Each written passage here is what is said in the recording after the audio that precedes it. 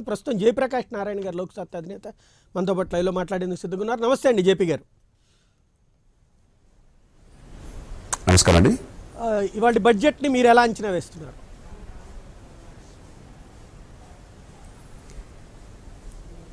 ఒక రకంగా చాలా నిరాశాజనకంగా ఉంది. ఎందుకంటే గొప్ప అవకాశం. పాల్ రోమర్ అనే గొప్ప ఆర్థికవేత్త ఒక మాట అన్నాడు. ఒక సంక్షోభం మార్పుకు గొప్ప అవకాశం. పంతొమ్మిది వందల తొంభై ఒకటిలో మన దేశంలో వచ్చిన ఆర్థిక సంక్షోభాన్ని ఆనాటి ప్రధానమంత్రి నరసింహారావు గారు ఆనాటి ఆర్థిక మంత్రి మన్మోహన్ సింగ్ గారు దేశంలో మౌలికమైన మార్పుకి ఉపయోగించుకున్నారు. ఈవేళ దాదాపుగా అట్లాగే.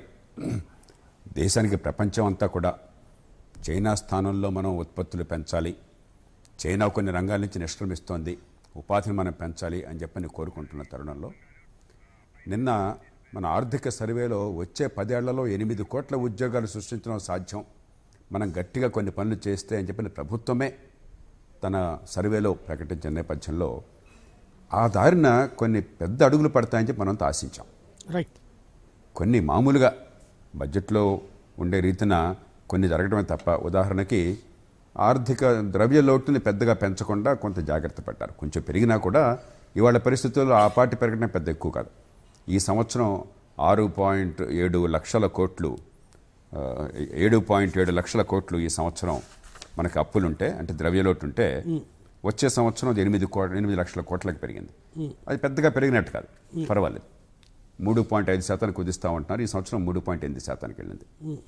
అట్లాగే కొన్ని పన్నుల రాయితీలు ఆదాయ పన్నులో కానీ ముఖ్యంగా మధ్యతరగతి వర్గానికి పన్నెండున్నర లక్షల దాకా కొంత రాయితీలు ఇవ్వటం కానీ అలాగే డివిడెండ్ డిస్ట్రిబ్యూషన్ ట్యాక్స్ మనకి కంపెనీల్లో మీరు ఏమైనా పెట్టుబడి పెడితే అక్కడ కంపెనీలోనూ డివిడెండ్ మీద పన్ను వేస్తున్నారు.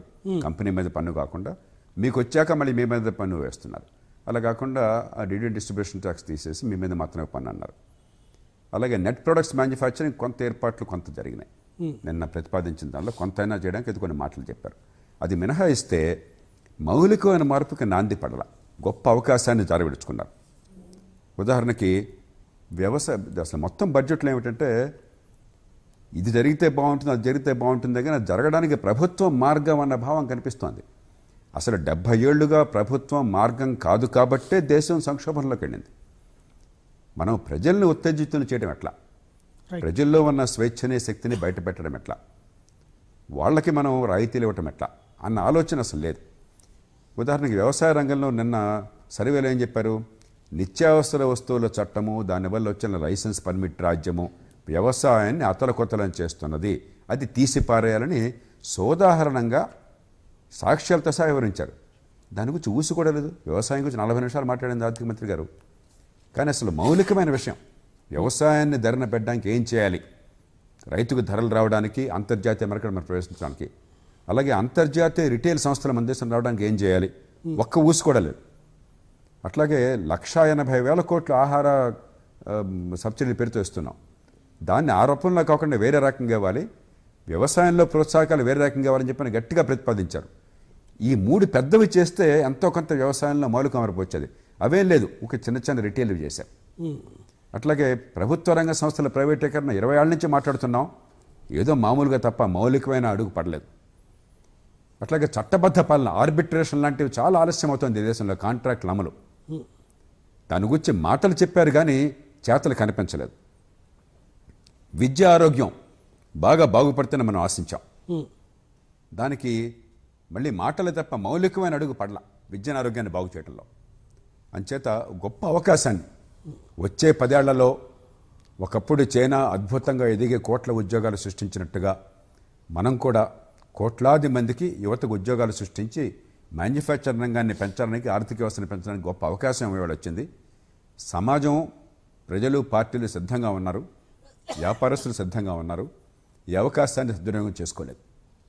రైట్. అంటే ఈవేళ ఈ మనకు కనబడుతున్నటువంటి వాటిట్లో ఎస్పెషల్లీ సోలార్ పవర్ ప్రొడక్షన్కి భారీ ఎత్తునిచ్చినటువంటి అవకాశాలు ఈవెన్ రైల్వేలను కూడా వాడుకోమని కానీ అట్లాగే పవర్ సెక్టార్కి బాగా బూస్టప్ ఇస్తామనేటువంటి అంశం కానీ మరోవైపున పరిశ్రమలకు సంబంధించినటువంటి ఎంఎస్ఎంఈ సెక్టార్కి కూడా కొన్ని ఇష్యూస్ ప్రకటించారు కదా. అక్కడ ఉన్నటువంటి సమస్యల్ని పరిష్కరిస్తామని అలాగే లోన్స్కి సంబంధించినటువంటి ప్రాబ్లమ్స్ని కూడా సాల్వ్ చేస్తారు. అవి ప్రాక్టికల్గానా లేకపోతే అది జస్ట్ క్యాజువల్ థియరిటికల్గా ఉన్నాయి అనుకోవాలా? అంటే మీరు రెండు గుర్తించాలి. సంకల్పాన్ని ప్రకటిస్తే సమస్య పరిష్కారమైనట్టు కాదు. రైట్ ఇరవై ఏళ్ళుగా ప్రతి బడ్జెట్లో ఈ మాటలు మనం చెప్తూ ఉన్నాం. ఉదాహరణకి విద్యుత్ రంగంలో ఈ పంపిణీ వ్యవస్థలు దారుణంగా ఉన్నాయి. విపరీతంగా నష్టాలు వస్తున్నాయి. విద్యుత్ సంస్థల్లో గాడిని పెట్టాలని ఇవాళ కాదు. దేవగౌడ గారు ప్రధానమంత్రిగా ఉన్న నాటి నుంచి అంటే పంతొమ్మిది వందల తొంభై ఆరు నుంచి ఇప్పటికి ఇరవై ఐదు లేకపోతే ఇరవై నాలుగు అయిపోయింది. ఇప్పటిదాకా మాట్లాడుతున్నాం. ఇప్పటిదాకా అదే మళ్ళీ పాత పాటే మళ్ళీ చెప్తున్నాం. కాబట్టి ఆ పాట పాడితే పని జరిగినట్టు కాదు. రెండవది దీనికో యాభై కోట్లు దానికో వంద కోట్లు వచ్చేస్తాం ఇచ్చేస్తాం అని ఒక నాలుగు వాక్యాలు చదివితే కాదు. ఈ సమాజం సర్వశక్తుల్ని కూడా ఈ మార్పుకి కేంద్రీకరించేట్టుగా ఉపయోగించాలి.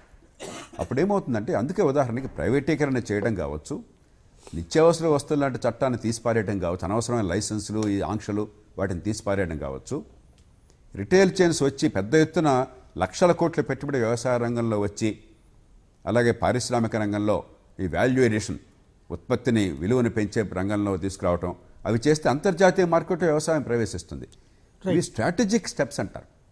వ్యూహాత్మకమైన పెద్ద అడుగులు అంగలు. చైనా అట్లాంటి అంగలు వేసింది. తొంభై ఒకటిలో మనం కొన్ని అంగలు వేశాం.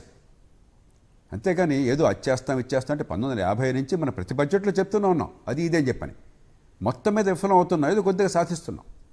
ఈవేళ మనకి మన దేశంలో ఉన్న అవసరాలకి మరి ఏడాదికి కోటి ముప్పై లక్షల మంది యువత ఉద్యోగంలో కొత్తగా వస్తుంటే ఉపాధి కోసం వస్తుంటే రోజుకి ముప్పై ఆరు వేల మంది ఈ దేశంలో ఉపాధి కోసం కొత్తగా యువత వస్తున్నారు. ఆదివారం పగ సెలవు రోజు పండుగ రోజు రాత్రి పగలు కలిపి గంటకు పదిహేను వందల మంది కొత్తగా ఉద్యోగాలు ఎక్కడనే అరువులు చేస్తున్నారు. ఆ స్థాయిలో ఉపాధి కల్పన కావాలి ఆర్థిక వ్యవస్థ పెరగాలి ప్రగతి రేటు పెరగాలంటే మనం ప్రభుత్వ వ్యూహం మౌలికంగా మారాలి. ఇది మనం చెప్పక్కర్లే మీరు నేను చెప్పక్కర్లా. ప్రభుత్వం నిన్న ప్రకటించిన ఈ ఆర్థిక సర్వేలో ప్రభుత్వం చెప్పింది. సాక్ష్యాలతో సహా చెప్పింది.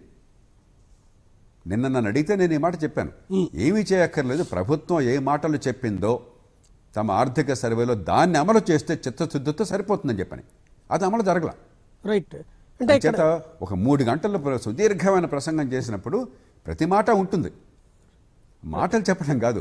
ఎలాంటి పద్ధతుల్ని ప్రవేశపెట్టామో దానివల్ల ఫలితాలు వస్తాయా?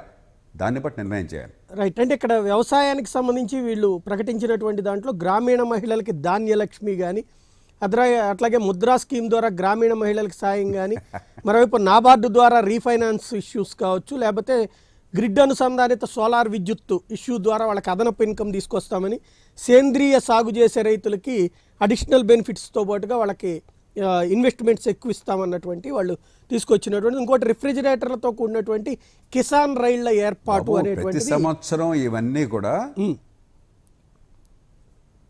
ప్రతి ఏడాది ఇవన్నీ కూడా చిల్లర మల్లరగా చెప్పే పథకాలే. రైట్. మీరు చెప్పిన ప్రతి అంశం ఏదో రూపంలో ప్రతి సంవత్సరం ప్రస్తావనకు వస్తూనే ఉంటుంది. రైట్. మౌలికంగా మార్పు ఎక్కడొచ్చింది? ఇప్పటిదాకా ఎందుకు జరగలేదు? ఇప్పుడు ఎక్కడ జరుగుతుంది? అంటే ప్రాక్టికల్గా ఇక్కడ. మాట్లాడదాం. నేను అనేది ఏంటంటే ఇప్పుడు ఫర్ ఎగ్జాంపుల్ మార్పు ఎక్కడ వచ్చింది అంచేత ఇదంతా చిల్లర మల్ల మామూలు ప్రభుత్వ పథకాలు ప్రతి శాఖ కూడా అద్భుతాలు చేస్తామని ప్రతి సంవత్సరం చెప్పుకుంటారు ఇన్ని అద్భుతాలు చేస్తే ఎందుకు అంత నిరుద్యోగం ఉంది? మీద పైకి వెళ్ళిపోతుంటే మనం అదే పనిగా వాళ్ళంక నోట్లో పెట్టి చూస్తున్నాము. ఈ బడ్జెట్కి ఒక దిశ లేదు. రైట్ అంటే వ్యవసాయానికి సంబంధించి ప్రతి సంవత్సరం ఇదే చెప్తున్నాం. ఏ పార్టీ ఉన్నా ఇప్పుడు ఒక మాట నేను అనేది ఏంటంటే ఒక రైతు బజార్ అనేది పెట్టినప్పుడు స్టార్టింగ్లో ఆ రైతులు వచ్చి అమ్ముకున్నారు మనకి. అలాగే వాళ్ళకి వెళ్ళడానికి కావాల్సిన బస్సులు ఏర్పాటు ఇది చేసినప్పుడు దాని ఇన్కమ్ కానీ వాళ్ళు కొంత సొంతగా లబ్ధి పొందగలిగారు బ్రోకర్ల దగ్గర నుంచి. ఇవాళ చాలా ఏరియాల్లో రైతులకి ప్రధానమైనటువంటి సమస్య రవాణా. ఈ లారీలు వీటి ద్వారా అయ్యేటువంటి ఖర్చు. ఇప్పుడు ఈ రైళ్ళు కిసాన్ రైళ్ళ లాంటివి ఏర్పాటు చేయడం సివిల్ ఏవియేషన్ ద్వారా కూడా కూరగాయల సరఫరాకి ఉదాన్ పథకం లాంటి కృషి ఉదాన్ పథకం లాంటివి అలాగే న్యాచురల్ ఫార్మింగ్కి జీరో బడ్జెట్ సిస్టమ్ అనేటువంటివి ప్రాక్టికల్గా పనికిరావంటారా? ఇంకేదైనా ఉందంటారా ఆల్టర్నేటివ్? బాబు ఇవన్నీ ఏంటంటే ప్రభుత్వం మరింత అద్భుతంగా ఇప్పటిదాకా పనిచేయలేకపోయాం. సారీ. ఇప్పుడు అద్భుతంగా పనిచేస్తామని చెప్తున్నారు. అరే ఇప్పటిదాకా రైళ్ళు మీ చేతుల్లో లేవా? ఇప్పటిదాకా ఏమైనా ఎందుకు చేయలేదు? ఇప్పుడు ఏం చేస్తారు? పోడ పొడిచేది? ఇది కాదు పద్ధతి. రిటైల్ చైన్స్ పెట్టారనుకోండి. ఒక వాల్మార్ట్ ఒక టెస్కో ఒక క్యారీఫోరు లేకపోతే ఒక రిలయన్స్. ఈ రిటైల్ చైన్స్ పెద్ద ఎత్తున వచ్చాయి అనుకోండి క్షేత్రస్థాయి నుంచి అమ్మకం జరిగేదాకా మరి అదనపు చేకూర్చడం కోసం ప్రాసెసింగ్ ఇండస్ట్రీ వచ్చేదాకా గిడ్డంగులు రవాణా ప్యాకేజింగ్ గ్రేడింగ్ రిటైలింగ్ ఈ మొత్తాన్ని అద్భుతంగా వాళ్ళు బాగు చేస్తారు వాళ్ళ లాభాపేక్ష కోసం అని చెప్పని. మనం ప్రభుత్వంలో ఒక ఉద్యోగి వచ్చి జీతం తీసుకునేవాడు మన దగ్గరకు వచ్చి పని చేస్తాడని మనం ఆశపడక్కర్లే వాళ్ళు చేస్తున్నారా చేయటంలా ప్రభుత్వం చేయాల్సిన పనులు జరగట్లేదు. ఇంకా ఈ పనులు చేస్తారని ఇన్నే డెబ్బై ఏళ్ళు చూసాక ఆశపడటం ఎంత ప్రమా రైట్ మీకు రిటైల్ చైన్స్ వచ్చినట్టయితే వంద రూపాయలు మార్కెట్లో రేట్ వచ్చినట్టయితే మీరు వినియోగదారుడు వంద రూపాయలు కొన్నట్టయితే వ్యవసాయ ఉత్పత్తి రైతుకు డెబ్బై రూపాయలు వస్తుంది. ఇవాళ ఇరవై ఐదు రూపాయలు వస్తుంది. మీలో అంటున్నారు మేము ఇంకా రై ఇంకా రైళ్ళను బాగా నడుపుతాం. రైళ్ళల్లో మేము కోల్డ్ స్టోరేజ్ పెడతాం ఇంకా అద్భుతాలు చేస్తామని. ఇప్పటిదాకా ఎందుకు చేయలేదయ్యా మరి? కొత్తగా వచ్చిందా ఈ ఆలోచన ఇప్పుడు ఏం చేస్తారు? ఇప్పుడు గత సంవత్సరం బోల్డ్ చేస్తామని చెప్పారు. అంతకుముందు మళ్ళీ బోల్డ్ చేస్తామని చెప్పారు. ప్రతి సంవత్సరం వ్యవసాయం అద్భుతంగా అయిపోవాల్సిందే. మీ పథకాలన్నీ బాగా కనుక ప్రజలకు పనికొచ్చేట్టయితే ఎన్నో ఇన్ని సబ్సిడీలు ఇస్తామంటున్నారు రుణమాఫీలు ఇచ్చామంటున్నారు మరొకటి చేస్తాం ఏదో చేస్తాం చెప్పి మరి ప్రతి శాఖకి ఒక జాయింట్ సెక్రటరీ పెట్టి చిల్లర పథకాలు పెట్టారు. ప్రజలకి అందలా? అందదు. ఇవాళ కూడా ఆర్థిక మంత్రి గారు చెప్పారు రాజీవ్ గాంధీ గారిని గతంలో ఉదాహరించారు. వంద ఒక రూపాయి ఖర్చు పెడితే ప్రభుత్వం పదహారు పైసా జనానికి కడుతుందని చెప్పని. కాబట్టి ఇవన్నీ ఊరికే మాటలు చెప్తారు. ఈ డెబ్బై ఏళ్ళలో మాటలు ఏమైనా ఏం కాలే అవో ఎక్కడ ఫలితాలు వచ్చినాయి? టెలిఫోన్లు ఎప్పుడైతే మనం ప్రైవేటీకరణ చేసి ప్రజలకి చాయిస్ ఇచ్చామో అద్భుతమైన ఫలితాలు వచ్చినాయి. ఎప్పుడైతే టెక్నాలజీని అనుమతించామో అద్భుతమైన ఫలితాలు వచ్చినాయి. ఎప్పుడైతే ఈ దేశంలో ఈ లైసెన్స్ రాజ్యాన్ని కాస్త కళ్ళెం వేశామో అద్భుతమైన ఫలితాలు వచ్చినాయి. ప్రభుత్వం వల్ల రాలా? రైట్ అది ఆలోచించకుండా మేము ఇంకా బాగా చేస్తాం. ఇంకా నాలుగు గుమస్థానాలు పెడతాం. ఇంకా నాలుగు ఫైళ్ళు పెడతాం. ఇంకా నాలుగు పథకాలు పెడతాం. ఇంకా నాలుగు రూపాయలు కేటాయిస్తాం. ఇవన్నీ డెబ్బై ఏళ్ళ నుంచి చేస్తున్న పనులే. మౌలికమైన మార్పు దానివల్ల రాలేదు. ఇప్పుడు వస్తుందనడానికి ఏ రకమైన ఆధారాలు లేవు. రైట్. ఈవేళ ఫైనల్గా దీంట్లో తొలి ప్రాధాన్యం వ్యవసాయం సాగునీరు గ్రామీణాభివృద్ధి ద్వితీయ ప్రాధాన్యం ఆరోగ్యం పారిశుద్ధ్యం తాగునీరు. మూడో ప్రాధాన్యం వచ్చేటికి విద్యా చిన్నారుల సంక్షేమం. ఇవన్నీ ఎలా కనబడుతున్నాయి? ఈ మూడు కూడా మాటలే తప్ప గతంలో ఉన్నవి కొనసాగింపే తప్ప ఏ ఒక్క మార్పు మౌలికంగా రాలేదు. నేను నిశ్చయంగా చెప్పగలను. వ్యవసాయంలో మీకు ఇంతకు ముందే చెప్పాను. వ్యవసాయంలో మౌలికమైన మార్పుకు పునాది పడలేదు. రెండు విద్య ఆరోగ్యం అధ్వాన్నంగా ఉంది మన దేశం. విద్యలో ఖర్చు పెడుతున్న పిల్లలకు చదువు రావటం లేదు. ఎన్నో ఉన్నాయి. ఒక్క మాట ఆర్థిక మంత్రి నుంచి ఆ మాట రాలేదు. ఎలా బాగు చేయాలి విద్యని చెప్పన్న మాట రాలేదు. ఆరోగ్యంలో ఖర్చు పెట్టడం లేదు. చాలా అధ్వాన స్థితిలో మనం ఉన్నాం. ఎంతసేపటికి ఉన్న పథకాలను మరింత చేస్తామని చెప్పాను తప్ప మౌలికమైన మార్పు ఆరోగ్యాలు తీసుకోవట్లా చిల్లర మల్లర కొన్ని చెప్తున్నారు. ఏదో కొంచెం. మెడికల్ ఎక్విప్మెంట్ దీనిలో కొంత రాయితీలు ఇస్తాము మరో దానిలో మనకు ఇవన్నీ ఇప్పుడు దాకా చేస్తూనే ఉన్నాం ప్రసవతం చేస్తూనే ఉన్నాం చెప్తున్నారు కాబట్టి దానిలో మౌలికమైన మార్పు ఏం రాలేదు. సాగునీరు ఎక్కడ మార్పు వచ్చింది? మౌలిక మార్పు ఎక్కడ వచ్చింది? మాటలు తప్ప. కాబట్టి మౌలికమైన నెల ఏమన్నా దీనిలో కాస్త రెండు మంచి ఉన్నాయంటే ఈ డివిడెండ్ ట్యాక్స్ తీసేయడము ఈ కంపెనీల దగ్గర డివిడెండ్ డిస్ట్రిబ్యూషన్ ట్యాక్స్ తీసేయడము ఆదాయ పనుల మధ్యతరగతాల వర్గాలు కొన్ని రాయితీలు ఇవ్వడం ఈ నెట్ ప్రొడక్ట్స్ మ్యానుఫ్యాక్చరింగ్ కనీసం కొన్ని మాటలు చెప్పారు. ప్రభుత్వం గట్టిగా దానికి అడుగులు వేయాలి. ప్రైవేట్ రంగమే పరిశ్రమలు పెట్టి ఉపాధి కల్పించాలన్నా కూడా అది చేస్తే సంతోషము. అంత మినహాయించి మిగతా ఏ రంగంలోనూ కూడా ప్రాధాన్యాలు అనే అదే పనిగా మాటలు మాట్లాడి మార్చితే దానిలో ప్రాధాన్యం లేదు. ప్రాధాన్యాన్ని డబ్బును కేటాయించాలి. గతంలో జరుగుతున్న పద్ధతుల్ని మార్చాలి. మరింత వేగంగా మరింత సమర్థంగా జరిగేందుకు ఏర్పాట్లు కొత్తవిగా చేయాలి. వినూత్నమైనటువంటి ప్రక్రియల్ని చేపట్టాలి. అప్పుడు ప్రాధాన్యం అవుతుంది. అంతేగాని ఇది మాకు ప్రాధాన్యం. రైతే రాజు. పల్లిసీమలే పట్టుగొమ్మలు వ్యవసాయమే జీవనాధారము. కాబట్టి ప్రాధాన్యం అని ఉపన్యాసం ఇస్తే రైతులకు బాగు చేసినట్టు కాదు. ఈ మాటలు డెబ్బై ఏళ్ళ నుంచి ప్రతి ప్రధానమంత్రి ప్రతి ఆర్థిక మంత్రి ప్రతి వ్యవసాయ మంత్రి ప్రతి ముఖ్యమంత్రి చెప్తూనే ఉన్నారు. ఇప్పుడు చెప్పారు. చెప్తున్నారు. అంత మాత్రం చేత ప్రయోజనం జరిగినట్టు కాదు. కాబట్టి ప్రాధాన్యాలు కాదు. ఊరికే ఆ రిటేలు. ఈ చిల్లర మల్లరగా చెప్పారు. పేజీలకి పేజీలు పొంఖాను పొంఖాలుగా చెప్పారు. రైట్ ఇక్కడ గుడ్ సాటిస్ఫాక్టరీ బ్యాడ్ ఏమిస్తారు? బడ్జెట్ మీద మీ రిమార్క్ వెరీ గుడ్ అయితే లేదనేసారు అట్లాగో. వెరీ గుడ్ లేదు గుడ్ కూడా లేదు ఏదో పర్వాలేదు ఒక సాటిస్ఫాక్టరీ అధ్వానంగా లేదు. కనీసం ఏంటంటే వీళ్ళు మరి అప్పులు పెంచి పారేసి ఇంకా అనుత్పాదక ఖర్చులు మరింత పెంచి పారేసి మరింత పిచ్చి పనులు చేసి అలాంటిదే చేయాలి. అద్భుతమైన అవకాశాన్ని అవసరాన్ని ఉపయోగించుకోలేదు. దేశం అంతా కూడా ఇక వ్యవస్థ మారాలే ఆర్థిక వ్యవస్థ పెరగాలే ఆదాయాలు బాగా వేగంగా పెరగాలి పిల్లలకు ఉపాధి రావాలి చైనా వదిలేస్తున్న పరిశ్రమలన్నా కనీసం మన దేశంలో కింది స్థాయి పరిశ్రమ మనకు రావాలి. చిన్న దేశం వియత్నాం లాంటి దేశానికి గోచిపాతంత దేశం అది.